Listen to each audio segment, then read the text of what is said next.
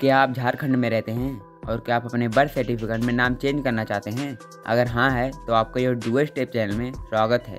इस वीडियो में हम आपको बताने वाले हैं कि आप झारखंड में बर्थ सर्टिफिकेट में नाम कैसे बदलें। इसीलिए पूरी जानकारी के लिए आप इस वीडियो को पूरा अंत तक देखिए।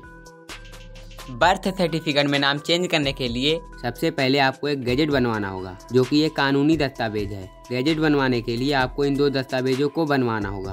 पहला एफिडेविट बनवाना। एफिडेविट बनवाने के लिए आप किसी वकील से संपर्क कर सकते हैं। एफिडेविट में आपको अपना नाम अपने माता पिता का नाम नाम बदलने का कारण लिखवाना होगा।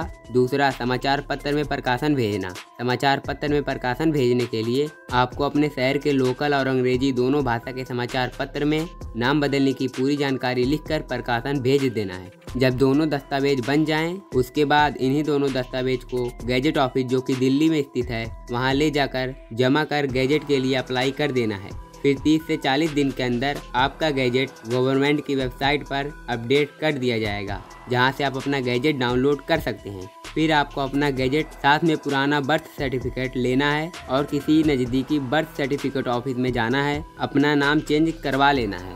पर यहाँ ध्यान देने वाली बात यह है कि वैसे तो गैजेट की मदद से बर्थ सर्टिफिकेट में नाम चेंज कर सकते हैं, लेकिन कुछ ऐसे राज्य हैं जिनका कहना है कि आपको बर्थ सर्टिफिकेट में नाम चेंज करने की कोई ज़रूरत नहीं है, बल्कि आपको जब कभी भी अपने बर्थ सर्टिफिकेट का इस्तेमाल करना होगा तो उसके साथ में आपको अपना गैजेट देना होगा। आपका काम हो जाएगा। आपके नया नाम को ही माना जाएगा। हमें उम्मीद है कि इस वीडियो में बताई गई पूरी जानकारी आपको पूरी तरह से समझ में आ गई होगी।